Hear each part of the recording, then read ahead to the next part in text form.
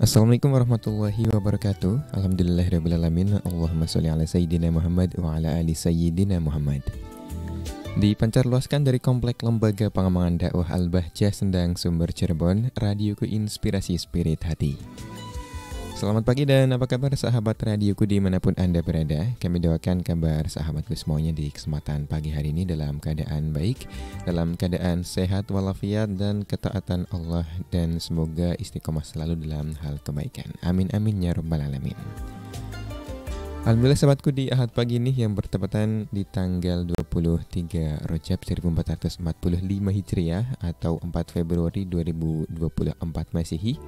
Alhamdulillah sahabatku kita dapat bersua kembali ya dalam program Sambut Mentari Sebuah program yang bertujuan untuk meningkatkan kualitas iman dan menggali ilmu dinul Islam dan informasi untuk sahabatku yang saat ini yang sedang mendengarkan melalui audio frekuensi sahabatku namun dirasa kurang jelas Anda bisa mendengarkan juga melalui audio streaming di www.radiokuonline.com atau di www.radioku.com Anda juga bisa menyimak langsung ya melalui live streaming di Facebook Radioku Cirebon sahabatku dan seperti biasa di Ahad pagi ya kita terbiasa akan kembali belajar bersama asatid dari Lembaga Pengembangan Dakwah Al-Bahjah itu bersama Al Ustadz Aziz Fadli Al Ma'rif yang alhamdulillah sudah hadir bersama Irfan di studio. Kita sapa beliau. Assalamualaikum warahmatullahi wabarakatuh Ustaz. Waalaikumsalam warahmatullahi wabarakatuh. Bagaimana kabarnya? Alhamdulillah berkat doa dari Kang Irfan. Juga doa dari para pendengar ya. Allah memberikan kepada kami kesehatan Mudah-mudahan ini petanda panjang umur dalam ketaatan insya Allah dan kami pun mendoakan mudah-mudahan Kang Irfan beserta para pendengar juga diberikan oleh Allah kesehatannya panjang amin. umur dalam ketaatan. Amin amin ya rabbal alamin. Baik Ustaz di kesempatan sambut mentari pagi hari ini ada tema atau materi apa Ustaz yang akan disampaikan? Insya Allah kita akan bahas sebuah tema ya uh, tentang atakhallus minal ma'asi yaitu cara agar kita bisa terbebas dari perbuatan maksiat ya. Baik, Masya Allah. Kita dulu Ustaz untuk langsung menyampaikan materinya. Bismillahirrahmanirrahim. Assalamualaikum warahmatullahi wabarakatuh. Waalaikumsalam warahmatullahi wabarakatuh. Alhamdulillah wassalatu wassalamu ala rasulillah Sayyidina Muhammad ibn Abdullah Wa ala alihi wa sahbihi wa man wala La hawla wa la quwata illa billah Allahumma ya Rabbana a'inna ala dhikrik wa syukrik wa husni ibadatik Allahumma inna ya Rabbana ala ta'atika wa ala tarki ma'asiyatika Allahumma ya Rabbana urzukna taubata qabla al-maut wa syahadata inda al-maut wal jannata ba'da al-maut amma ba'du. Yang selalu kami cintai dan yang senantiasa kami muliakan. Guru kita semua Al-Mukarram Buya Yahya beserta keluarga mudah-mudahan Allah memberikan kepada beliau keistiqomahan dalam kebaikan, dipermudah segala urusannya, diberi keistiqomahan juga untuk membimbing kita agar semakin dekat dengan Allah dan semakin dicintai oleh baginda Nabi. Dan yang kami muliakan para pendengar radioku dan semua kru radioku. Mudah-mudahan Allah memberikan kepada kita semua kemudahan dalam beramal soleh. Kemudahan dalam meninggalkan kemaksiatan dan mudah-mudahan kita selalu dijadikan oleh Allah menjadi hamba-hamba yang diridhoi dan dicintai oleh baginda Nabi Muhammad Sallallahu Alaihi Wasallam. Alhamdulillah di pagi hari ini, di pagi hari ini kita masih dijadikan oleh Allah menjadi hamba-hamba perindu kemuliaan dan mudah-mudahan selalu dijadikan oleh Allah menjadi hamba-hamba yang rindu dengan kemuliaan. Dan mudah-mudahan kita juga diberikan oleh Allah keistiqomahan untuk selalu berada pada kemuliaannya. Amin ya robbal alamin. Baik, uh, pada pagi hari ini kita insya Allah akan bahas sebuah tema ya tentang kaifatahul lusu minal ma'asi. Bagaimana kita agar bisa menghindari ya, meninggalkan maksiat. Baik, sebelumnya kita sudah membahas ya secara terperinci tentang maksiat mata, maksiat mulut ya kemudian juga kita sudah membahas tentang maksiat maksiat hati ya sombong dongki dan lain sebagainya nah kita pengen membahas secara detail tentang apa itu maksiat kemudian eh, sebab-sebab uh, orang bermaksiat. Kemudian intinya ya, poin intinya yaitu cara menghindari atau meninggalkan maksiat. Baik, setiap manusia pasti melakukan kesalahannya. Pasti melakukan kesalahan. Kita bukan nabi yang maksum. Maksum itu artinya terbebas dari perbuatan maksiat baik maksiat yang kecil ataupun maksiat besar itu maksum dan itu hanya diperoleh oleh nabi para ambia para ambia tidak melakukan kemaksiatan dan tidak akan melakukan maksiat ya. Hmm. baik dosa-dosa kecil ataupun dosa-dosa besar. Kalaupun secara zahir terlihat nabi itu melakukan maksiat itu sebenarnya bukan maksiat. Ditakwil hmm. ya. Ditawil seperti halnya Nabi Adam yang uh, melanggar perintah Allah ya. Itu karena pada saat itu belum ada taklif ya. Kemudian uh, para ulama mentawil uh, hal-hal lain ya yang dilakukan oleh Nabi Adam itu sebenarnya bukan maksiat ya itu mimbab hasanatul abror sayatul muqarrabin ya dan lain sebagainya kemudian Nabi pernah ditegur sama Allah ya itu bukan maksiat juga baik yang jelas bahwa kita bukan nabi dan kita pasti akan melakukan kemaksiatan dan punya potensi untuk bermaksiat. Maka tugas kita adalah bagaimana kita agar sebisa mungkin untuk meninggalkan maksiat. Ya. Baik. Adapun definisi maksiat apa sih? Ya, maksiat itu secara lughah adalah khilafut ta'ah yaitu lawan kata daripada ketaatan ya. Lawan kata daripada ketaatan. Ataupun secara istilah syar'i ya itu apa? Mukhalafatul amr wal khuruj anhu qasdan yaitu melanggar perintah dan keluar dari dari perintah tersebut qasdan secara disengaja Allah memerintahkan orang untuk sholat. Dia nggak sholat. Ya ini maksiat. Sengaja tapi. Tapi kalau seandainya dia meninggalkan sholat karena tertidur ya kan? Ya ini termasuk nanti yang dimakfu yang dimaafkan kan gitu ya. Baik, itu. Atau bisa dikatakan maksiat itu adalah pelanggaran oleh orang yang sudah mukallaf ya. Orang yang sudah mukallaf. Melakukan pelanggaran-pelanggaran ya. Atau meninggalkan hal yang diwajibkan oleh syariat itu maksiat. Jadi anak kecil melakukan uh, pelanggaran syariat contohnya ada anak kecil uh, doyan mabuk itu misalnya ya tidak dikategorikan maksiat karena dia belum balik belum mukallaf belum tahu hukum halal haram Baik itu definisi maksiat, semua orang pasti tahu. Adapun macam-macam maksiat ya ada maksiat lahir dan maksiat batin. Ini sudah kita jelaskan ya secara terperinci. Maksiat lahir ya, atau jawareh itu ya seperti maksiat mata dari melihat yang haram ya atau mu, uh, mulut dari berbicara yang haram, menggibah, berbohong, sumpah palsu dan lain sebagainya. Itu adalah maksiat-maksiat lahir atau maksiat tangan, maksiat perut, makan uh, mengkonsumsi hal yang haram. Ya, itu juga maksi maksiat semuanya akan ada dosanya. Masing-masing punya tingkatan dosanya ya. Maksiat riba berbeda dengan maksiat apa? Maksiat uh, melihat yang haram ya berbeda tergantung dari kualitas maksiatnya.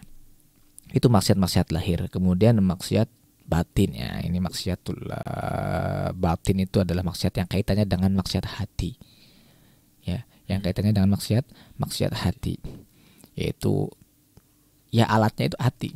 Contohnya adalah dengki sombong ujub.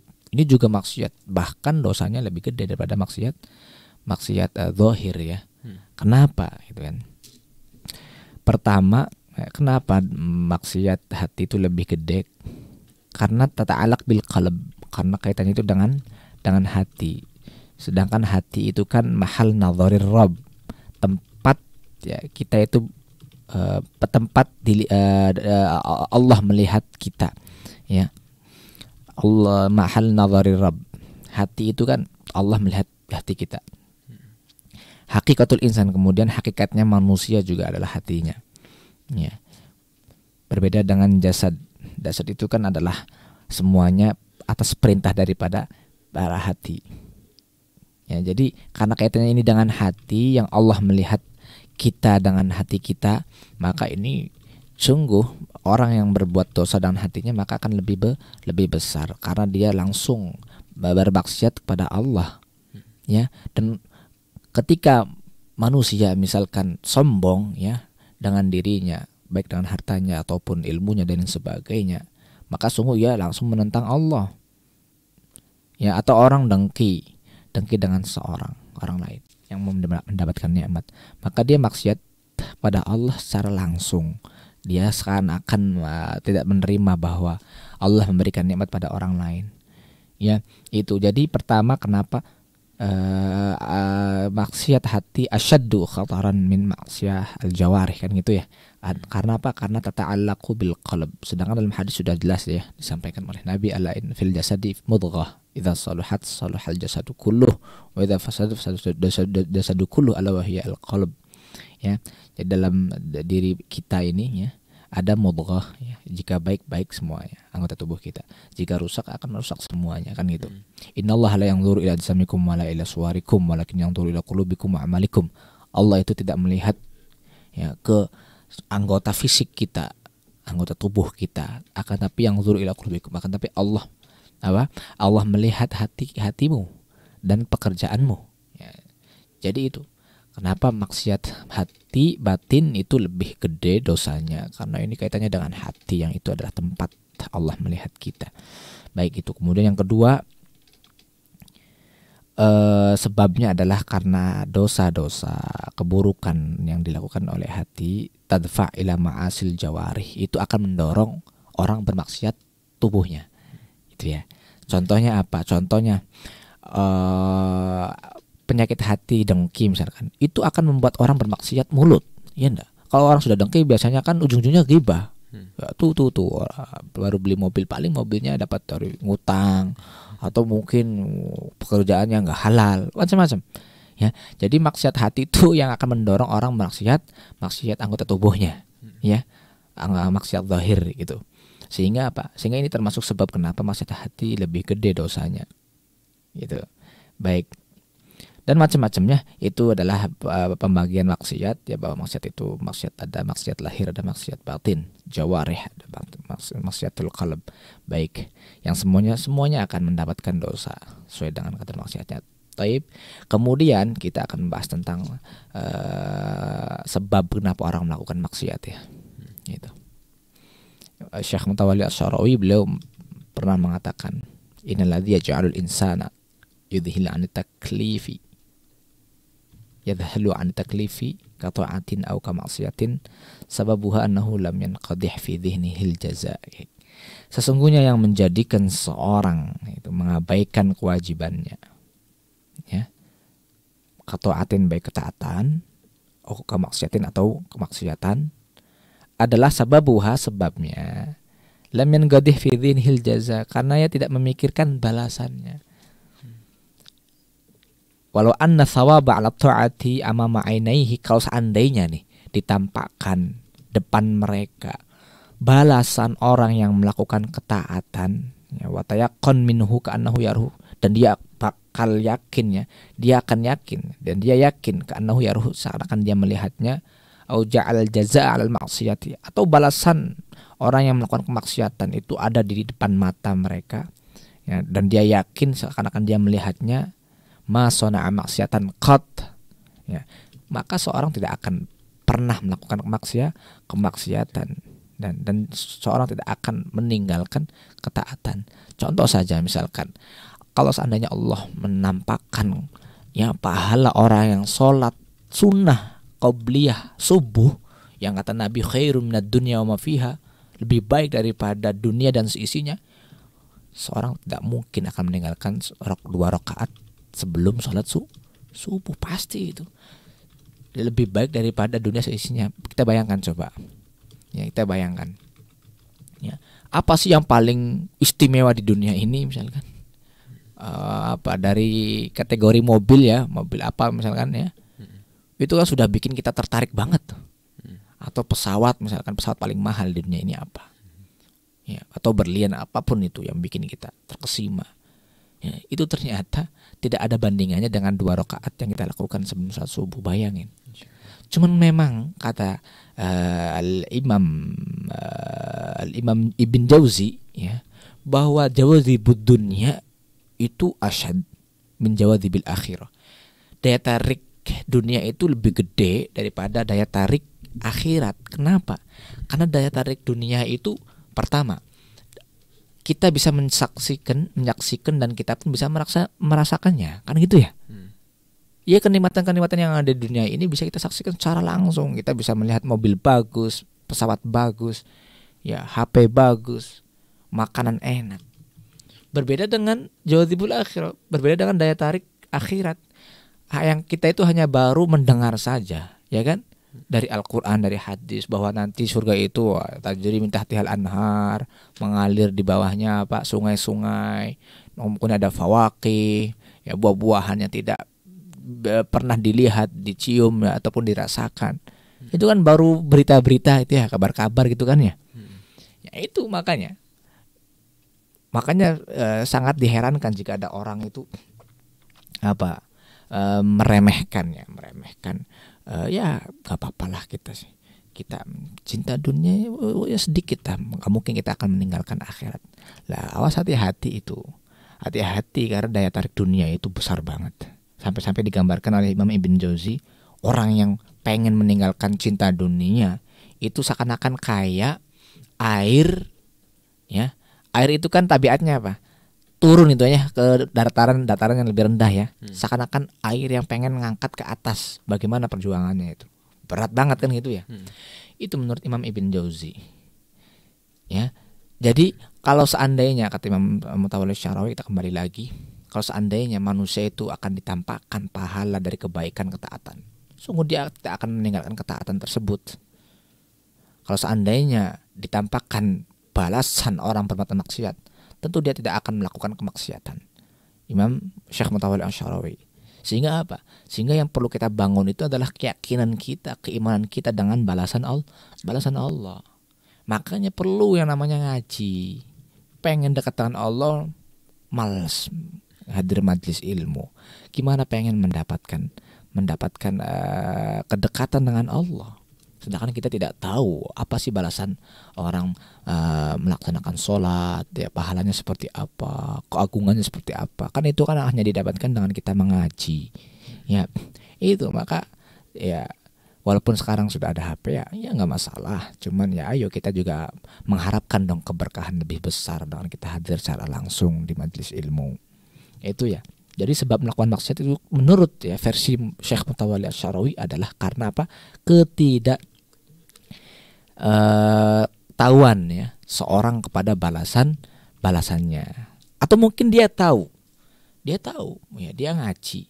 Cuman kurang yakin. Ya kurang kurang yakin. Karena tadi karena balasan akhirat itu hanya perkara-perkara gaib nggak seperti dunia dunia. Itu. Jadi kalau orang tahu sebab uh, kenapa lakukan maksiat, maka dia tentu akan mencoba apa sih ya sebabnya. Oh, sebabnya ternyata kita kurang yakin dengan balasan-balasan yang akan diberikan oleh Allah. Siapa yang melakukan uh, meninggalkan sholat akan dibalas ya, misalkan disiksa di neraka. Seperti apa? Itu kan kita harus men, uh, apa namanya merenungi itu ya agar kita tidak berani meninggalkan sholat dosanya eh, riba seperti apa kita juga perlu tuh makanya mungkin harus ada kita waktu khusus untuk membaca ancaman-ancaman ya hmm. yang uh, yang di diberikan oleh orang-orang yang melakukan kemaksiatan. Itu perlu. Agar apa? Agar kita menumbuhkan rasa takut kita dan rasa yakin ya keyakinan kita kepada Allah tentang balasan-balasan tersebut. Sehingga kita tidak begitu mudah melakukan ya maksiat. Baik itu sebab sebab orang melakukan maksiat menurut versi Syekh Mutawali Asy'arawi. Kemudian nanti ada ya akibat akibat dari perbuatan maksiat. Kemudian baru nanti kita akan ada di pembahasan inti yaitu bagaimana at-takhallus kaifa minal manal maksiat yaitu cara kita agar bisa menjauhi maksiat, tidak bermaksiat pada Allah Subhanahu wa taala insyaallah setelah berikut ini. Baik, Masya Allah. Terima kasih Ustaz atas pemaparan materi di sesi pertama kali ini. Dan sahabat itu kita akan kembali melanjutkan pembelajaran kita bersama Al Ustaz Aziz. Namun setelah jeda berikut ini. Untuk Anda tetap di Radioku Inspirasi Spirit Hati.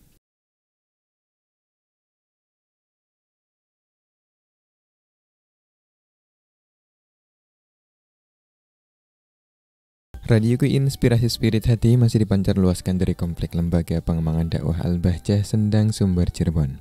Anda masih bersama kami sahabatku dalam program Sambut Mentari dan di sesi kali ini kita lanjutkan sahabatku pembelajaran kita bersama Al Ustadz Aziz. Baik, kita betul untuk melanjutkan materinya. Bismillahirrahmanirrahim kita lanjutkan kembali ya pembahasan kita tentang kaifat khulusu minal ma'siyah. Hmm. Bagaimana cara agar kita bisa menjauhi kemaksiatan ya. Kita sudah membahas dari awal apa itu maksiat, kemudian sebab orang melakukan kemaksiatannya, macam-macam maksiat baik. Kita sudah uh, sampai pada inti pembahasannya itu bagaimana cara kita bisa menjauhi maksiat itu ya. Hmm. Baik, para ulama pernah mengatakan, "Idza hammat nafsaka bil maksiyah fadzakirha billah." Ya. Jika dirimu ya ada keinginan pengen bermaksiat, Fadzakirha billah. Ingatlah Allah. Ya, ingatlah Allah. Jadi kalau orang ingat Allah, tidak mungkin dia akan maksiat. Pasti itu. Kalau orang ingat pada Allah, dia akan malu dong. Itu adalah Allah Subhanahu wa taala yang melihatnya. Yang memberikan dia nikmat, yang memberikan dia karunia, yang memberikan dia bisa Eh, melihat, bisa mendengar, bisa bernafas, bisa makan enak, dan macam-macam. Tentu orang akan mikir-mikir lagi kan gitu.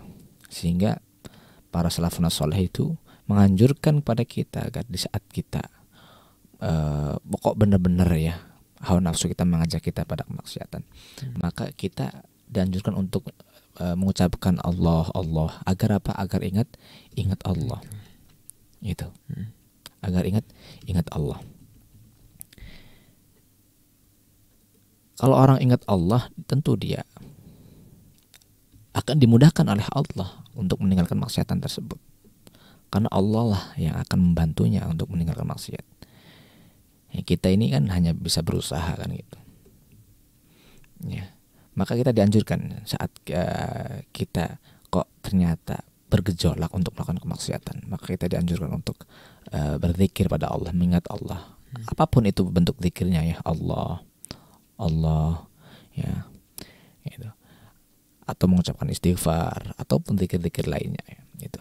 Kemudian nah, Buya pernah mengatakan bahwa dilihat kalau seandainya maksiat itu maksiat yang diundang ya tentu ini akan sulit ya gitu. Hmm. Ini misalkan ada pertanyaan, saya sudah itu, saya sudah melakukan itu, berusaha kita saya coba berusaha untuk ingat Allah. Akan tapi kok masih kita melakukan kemaksiatan itu ya. Ya berarti dilihat dulu kalau seandainya maksiat itu diundang, artinya Anda yang melakukan sebab-sebab melakukan kemaksiatannya ini memang susah. Ya, tapi kalau seandainya tiba-tiba saja Anda ya, tergerak hati Anda pengen melakukan kemaksiatan itu ditepisnya mudah kan gitu. Hmm tepisnya mudah. Cukup tadi ingat kepada Allah zikir istighfar cukup. Tapi kalau maksiatnya diundang ya ini yang salah. Maka dari awal seharusnya kita berusaha untuk menjauhi sebab-sebab kita ya sebab-sebab melakukan kemaksiatan. Ya, contohnya misalkan ya melihat tontonan yang nggak benar ya dari awal kita jangan ngeklik channel-channel yang kontennya nggak benar kan gitu. Hmm. atau misalkan riba kalau seandainya kita tahu ya perkumpulan itu akan ya, ada ribahnya ngunjing orang ngomongin orang. Ya sudah kita tinggalkan kan gitu ya. Udah tahu kita bahwa kumpulan tersebut akan uh, melakukan kemaksiatan ya. Ya kita kita ikut kumpul juga. Ya ini kan berarti ngundang kemaksiatan. Kita akan hmm. terjerat di situ.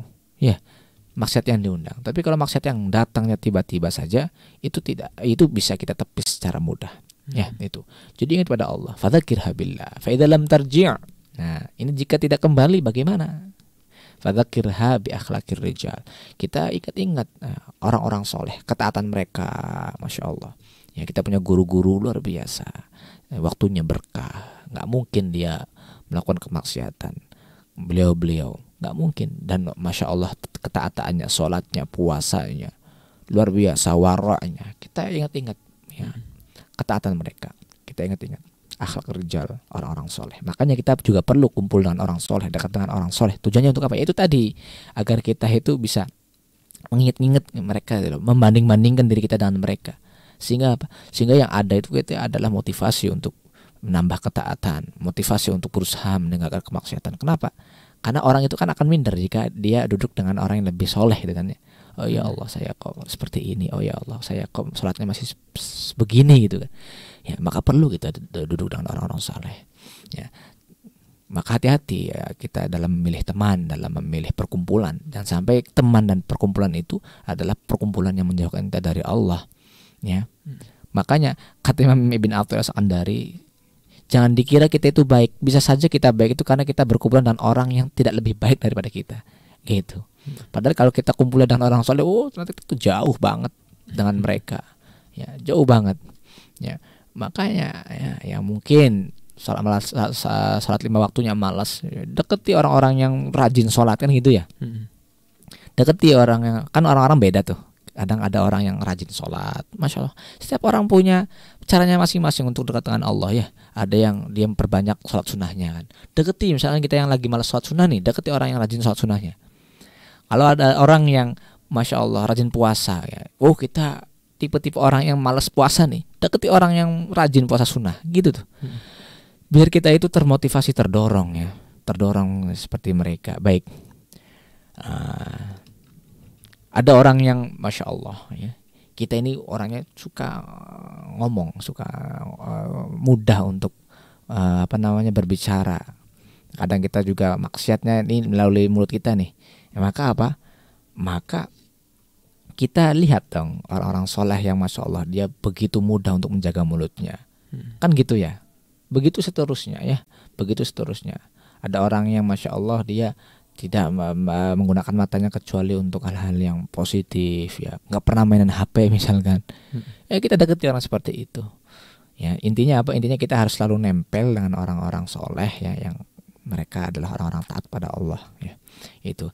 Dalam tarja kemudian kalau kita sudah mencoba untuk ingat Allah. Kita pun mencoba untuk uh, memikirkan ketaatan orang-orang soleh ya. Orang-orang yang di dekat kita yang dekat dengan Allah ya. Sekeliling kita yang dekat dengan Allah. Bagaimana? Fadzakir habil fadhiha alima bihan nasu. Maka kita ingat-ingat kehinaan jika kita lakukan dan dilihat oleh orang. Kalau kita melakukan ini lah dilihat orang bagaimana nanti? Hmm. ya. Itu misalkan kita begitu mudah melakukan maksiatan di dalam rumah gitu kan melakukan hal, kehinaan maka kita harus ingat nih ini kalau dilihat manusia gimana gitu ya Fa dalam tarji fa'lam anaka tilka saqad inqalabat ila hewan jika tidak balik lagi ya tidak apa namanya tidak tidak mempan fa'lam tahu anaka tilka saqad inqalabat ila hewan ya. pada saat itu detik itu ya engkau ya, nafsuka itu dirimu itu sudah berubah menjadi hewan. Maksudnya apa? Maksudnya sudah berarti ente itu hewan kan gitu. Ya ini sebenarnya kembali ya kembali tadi jenis maksiat tadi. Kalau maksiatnya diundang ya itu yang bikin susah. Hmm. tapi kalau maksiatnya maksiat yang dadakan tiba-tiba saja lah ini insya Allah ya insya Allah dengan mengikuti apa yang kami sebutkan tadi ya ini dari para ulama insya Allah kita bisa berusaha untuk meninggalkan maksiat kan gitu. Hmm. dan sebenarnya eh, orang kalau mengetahui sebab akibatnya orang melakukan maksiatan tentu dia akan bisa meninggalkannya gitulah kita juga harus mengetahui apa sih akibat orang melakukan maksiat kan itu ya. Hmm. anadzunub turithul ghaflah wal ghaflatu turithul qaswas. Sesungguhnya maksiat dosa itu apa ya mewariskan kelalaian. Sehingga orang yang satu paket orang yang uh, sering melakukan maksiatan itu biasanya ibadahnya malas ya ibadahnya malas karena apa? Karena memang tadi maksiat itu ya bikin orang lalai bikin jauh dari Allah. Bagaimana mungkin dia akan mendapatkan pertolongan kemudahan dari Allah untuk melakukan ketaatan? Hmm. ya kecuali kalau kemaksiatannya itu bikin dia menyesal gitu kan. Akan terbangun akan terbangun lagi. Kalaupun terpleset dia selalu menyesal. Ya menyesal. Itu akan terbangun lagi. Nah ya, cuman cuman yang namanya maksiat kalau dilakukan terus menerus nanti akan ada nanti istilahnya ron ya. Kotor titik hitam yang yang nempel dalam hati. Kalau seandainya itu sering dilakukan ya maka akan semakin banyak titik hitam itu noda hitam itu dan akan menggelapkan hatinya. Dan ini hati-hati ya hatinya akan menjadi mati kalau hati sudah mati ya dia tidak secara otomatis akan melakukan maksiatan dan ketika mendengarkan nasihat pun tidak akan diterima kan gitu hatinya sudah mati hmm. hanya menunggu hidayah dari Allah saja kan gitu. Ya, kemudian uh, wal qaswatu turithul turithul wal ghaflatu turithul qaswah. Kemudian lalai itu kan itu tadi akan mewariskan ke uh, qaswah ya. Hmm. Uh, apa namanya? kebekuan hati gitu ya. Wal qaswatu turithul bu'ad anillah. Dan uh, matinya hati ya. Tertutupnya hati, kerasnya hati itu mewariskan ya, al-bu'ad Allah. Jauh dari Allah Subhanahu wa taala. Baik, itu ya. Kemudian banyak sekali sebenarnya akibat-akibat daripada perbuatan maksiat itu di antaranya adalah terhalangnya seorang dari ilmu ya dan rezeki. Makanya orang yang e, maksiat tidak akan mendapatkan ilmu. Maksudnya ilmu ini adalah hal-hal ya, pengetahuan dia tentang Allah, pengetahuan dia tentang bagaimana cara mendapatkan diri pada Allah. Ini anak ilmu ya. Itu dia tidak akan mudah mendapatkan itu semua sehingga dia akan ah, berada pada keadaan keadaan dia ya tidak akan bisa menuju pada keadaan yang di mana dia akan lebih dekat dengan Allah Subhanahu wa taala ya. rezeki juga sama ya ternyata orang melakukan maksiat itu juga akan mempersempit rezekinya kan gitu hmm. e, pertanyaannya loh di sana kan banyak tuh orang melakukan maksiat tapi rezekinya lancar saja kan gitu Ya, maksudnya rezeki di sini adalah rezeki yang akan memberikan manfaat padamu, rezeki yang berkah. Ya. Kalau seandainya ada orang bermaksiat, rezekinya kok lancar, ya berarti itu namanya rezeki akan membahayakan dirinya, istidroj. Ya, justru akan menjauhkan dirinya dari Allah. Maksudnya kami adalah rezeki yang akan justru membuatmu dekat dengan Allah. Ya, itu. Baik. Kemudian eh, termasuknya adalah akan mempersulit urusan-urusannya Hmm. Ya, maksiat itu pasti saja itu. Makanya mungkin sering gelisah. Dan gelisahnya pun bukan gelisah yang baik. Ada gelisah yang tidak baik. Apa itu? Gelisahnya ngurusin dunia kan gitu. Hmm. Kalau misalkan eh, duitnya hilang, barangnya hilang itu langsung sumpeknya satu hari sehari ya. Sehari. Tapi giliran nggak sholat uh, kiamulel, nggak sholat uh, sunnah qobliyah ba'diyah, biasa-biasa saja. Kan ini kan perlu dipertanyakan kan gitu. Hmm. Ya Awas hati-hati kalau seandainya kita tidak merasa rugi, tidak merasa menyesal jika ada kemunduran dalam ketatan kita, maka hati-hati. Itu mungkin awal daripada kita jauh dari Allah. Hmm. Itu ya. Kemudian ya tadi juga disebutkan bahwa maksiat akan menjadi akan menggelapkan hati seseorang ya. Wajah kemudian nanti di hari di alam barzah juga akan menggelapkan kuburannya kan gitu. Kemudian uh, terhalangnya dari ketaatan sudah ya. Menyanyiakan umur sama ya menyanyiakan umur. Banyak sekali sebenarnya akibat daripada orang berbuat maksiatan. Ya, juga akan menumbuhkan kemaksiatan sejenisnya. Maksudnya apa? Kalau orang sudah maksiat ghibah ya ghibah menggunjing mengomong orang. Itu nanti yang akan timbul adalah maksiat-maksiat sejenisnya. Ya berbohong ujung-ujungnya kan gitu ya. Hmm. mungkin saja akan sumpah palsu. Ya awalnya sih dengki awalnya dengki akhirnya ngomongin orang gitu kan. Oke bang gunjing akhirnya satu satu paket. Menggunjing itu kan ngomongin yang nggak bener ya dengan uh, tentang seseorang. Akhirnya bawa omongan-omongan yang tidak pada faktanya kan gitu ya. Hmm. nanti ujung-ujungnya fitnah ujung-ujungnya uh, kiri kebohongan baik. Itu. Ya itu akibat. Maka ini ya seorang jika tahu tahu uh, akibat daripada perbuatan maksiat dia tidak akan melakukan kemaksiatan ya. Minimal minimalnya dia akan uh, apa ya selalu berusaha agar dia tidak terprosok kalau seandainya dia masih terprosok dalam kemaksiatan ya maka terus terus berusaha.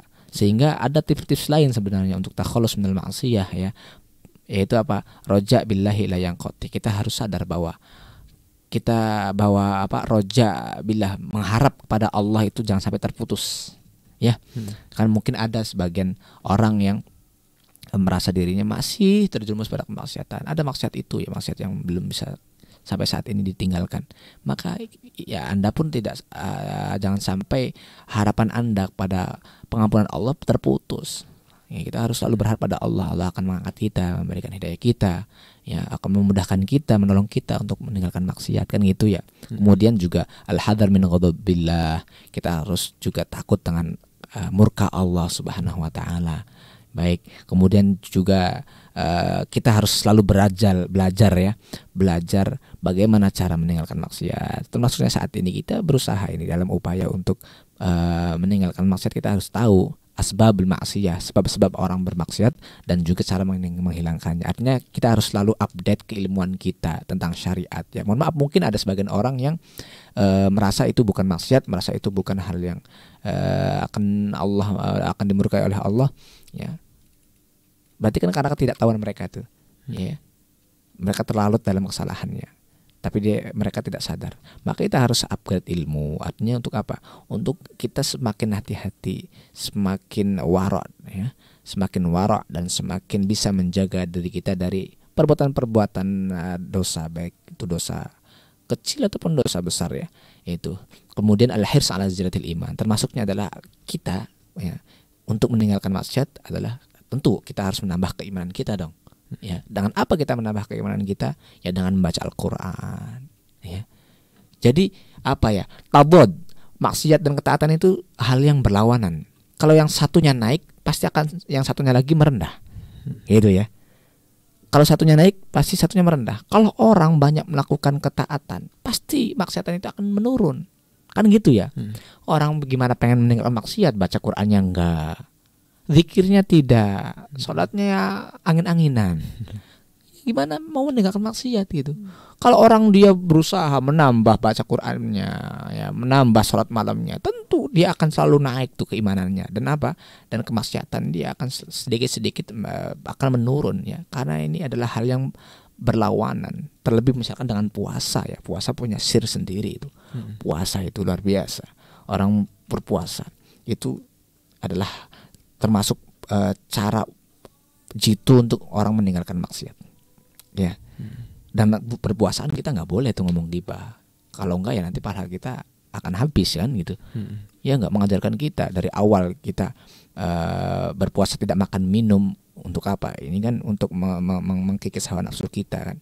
Kan termasuk yang menjadikan besarnya hawa nafsu kita adalah karena makan banyak minum banyak tidur dan lain sebagainya. Dengan puasa kita meninggalkan itu semua dan dengan puasa juga kita di, di, diwajibkan untuk meninggalkan kemaksiatan kemaksiatan lainnya sehingga apa?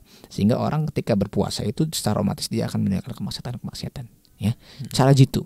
Dan kalaupun misalnya anda tidak mampu untuk berpuasa ya tadi baca Quran berzikir ya, kumpul dengan orang soleh. Baik itu ya. Kemudian ya terakhir adalah apa? Berdoa pada Allah Subhanahu wa taala. Karena semua itu ya tidak akan terjadi kecuali atas pertolongan Allah atas pertolongan pertolongan Allah. Ya, sehingga uh, kita uh, pertama melakukan usaha-usaha zahir ya. Setelah itu ya kita tawakal pada Allah pasrah pada Allah Subhanahu wa taala. Mudah-mudahan yang sedikit ini bermanfaat ya khususnya hmm. untuk dari diri kami pribadi yang pada intinya pada tema pagi hari ini ya. Bagaimana takhrus minal maksiyah adalah yang pertama uh, kita ingat kepada Allah Subhanahu wa taala ya Allah yang memberikan karunia, Allah yang memberikan nikmat, masa kita uh, membangkang, kita melanggarnya kan gitu. Kemudian yang kedua adalah kita harus uh, tahu akibat daripada uh, perbuatan maksiat. Ya, kemudian yang ketiga tadi ya, kita jangan sampai harapan kita kepada Allah terputus ya. Jangan kau putus harapan uh, Allah mengampuni. Kemudian setelah itu apa? Kita juga harus ada rasa takut dengan murka Allah. Dan yang keempat kelima ya kita harus berusaha untuk menambah keimanan kita ketaatan kita ya kepada Allah Subhanahu wa taala. Kemudian yang terakhir adalah kita perbanyak doa pada Allah Subhanahu wa taala agar Allah menolong menolong kita. Mudah-mudahan kita semua diberikan kemudahan untuk melaksanakan itu semua. Mudah-mudahan kita diberikan kemudahan untuk meninggalkan maksiat. Mudah-mudahan kita diberikan oleh Allah hati yang selamat dari penyakit-penyakit hati, kedengkian, sombong dan lain sebagainya. Mudah-mudahan kita dijadikan oleh Allah menjadi hamba yang selalu diridhoi dan cinta oleh baginda Nabi Muhammad. Mudah-mudahan kita selalu menjadi para pecinta uh, majlis, para pecinta orang-orang soleh dan terakhir mudah-mudahan kita berdoa agar Allah mematikan kita mencabut nyawa kita dalam keadaan kita mudah mengucapkan kalimat agung dan mulia. La ilaha illallah muhammadur rasulullah la ilaha illallah muhammadur rasulullah la ilaha illallah muhammadur rasulullah sallam Fatihah Bismillahirrahmanirrahim. Alhamdulillahirabbil alamin. Arrahmanirrahim maliki yaumiddin. Iyyaka na'budu wa iyyaka nasta'in. Ihdinas siratal mustaqim Baik kurang lebihnya mohon maaf. Assalamualaikum warahmatullahi wabarakatuh. Waalaikumsalam warahmatullahi wabarakatuh. Alhamdulillahirrahmanirrahim. Baik, Ustaz, terima kasih atas ilmu yang telah disampaikan. Semoga Allah memberikan kemampuan kepada kami semua untuk bisa memahaminya dengan baik dan benar serta dapat mengamalkannya. Amin amin ya rabbal alamin. Terima kasih untuk sahabatku atas kebersamaannya. Kami mohon maaf atas segala kekurangannya. Kami juga mohon maaf jika ada kata-kata yang salah atau kata-kata yang kurang berkenan. Kita akhiri kebersamaan kita dengan doa kafaratul majlis. Subhanakallahumma wa bihamdika asyhadu an la ilaha illa anta astaghfiruka wa atubu. Wassalamualaikum warahmatullahi wabarakatuh.